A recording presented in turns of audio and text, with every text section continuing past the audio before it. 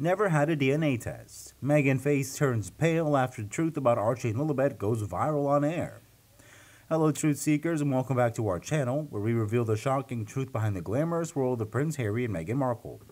Ladies and gentlemen, I have seen a lot of sensational claims and conspiracy theories, but so far we've got something truly remarkable on our hands. Brace yourself because we're in for a tale of unbelievable details and outrageous accusations. But before we move on to any further details, I would like to thank you so much for your immense love and support. And in case you haven't subscribed to my channel yet, well, what are you waiting for? Hit the subscribe button now and don't forget to press the bell icon. So let's get started. Bold is the statement on this table that it puts even the wildest conspiracy theories on the back burner. It all revolves around the identities of Archie and Lilibet, Meghan and Harry's supposed children big questions. Do they exist, or are they just a product of the Sussex's imagination? Let's start with the notion that Meghan and Harry have never had their child's DNA tested. According to rumors, there is conflicting information about whether Harry will even take a DNA test to confirm the parentage of his opposite children. The answer is lost in a sea of conflicting stories. The plot thickens as we delve into the bizarre events surrounding Archie's debut. Remember the bizarre, controversial polo match when Meghan appeared with the new baby. The person Harry had practically ordered her to leave behind the photos that day, raising eyebrows as onlookers looked at the baby with a mixture of shock and confusion.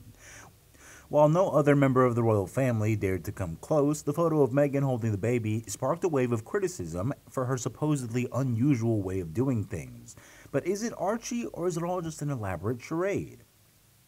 Now, rumors have emerged that Archie's real parents are from the UK and not Meghan and Harry. Speculation is that Meghan and Harry just hired other children to play Archie in the US, but they're not stopping there. There are claims that this child rental program has gone beyond U.S. borders, potentially involving children in Africa. It's an incredible accusation that makes us reflect on the lengths people will go to to protect the real Archie and Lilibet. The whole story took another strange turn when allegations surfaced that Meghan's friend Bren and her son Gavin were used as Archie's surrogates in some of the photos. Gavin's mother, Bren, has remained silent despite the controversy, which is truly confusing for any concerned parent. She doesn't care about how this might affect her son. The plot thickens as theories suggest that the real parents for these children are British, but why would they lend their child to this bizarre charade? As we move deeper into the rabbit hole, we come to the case of Lilibet, the invisible child. There is a conspicuous lack of photos showing Lilibet in America, except for one of her playing with the late queen on a carpet. But even for that photo, it seems suspicious to some, with claims of Photoshop and doubts about its authenticity. The lack of evidence of the existence of these children raises many questions. Why doesn't the world see more of them? Why are there no photos outside the stage situations? The answers to these questions remain elusive. At its core, it's more speculative. This conspiracy theory claims that Meghan and Harry orchestrated an elaborate charade that involved hiring children across the continents and a long list of details that would scare any horror writer.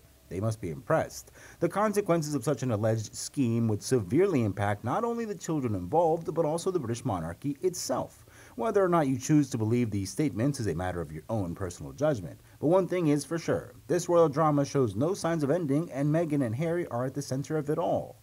Ultimately, the truth remains elusive, and we must navigate the maze of theories and accusations. So, what do you think about this news?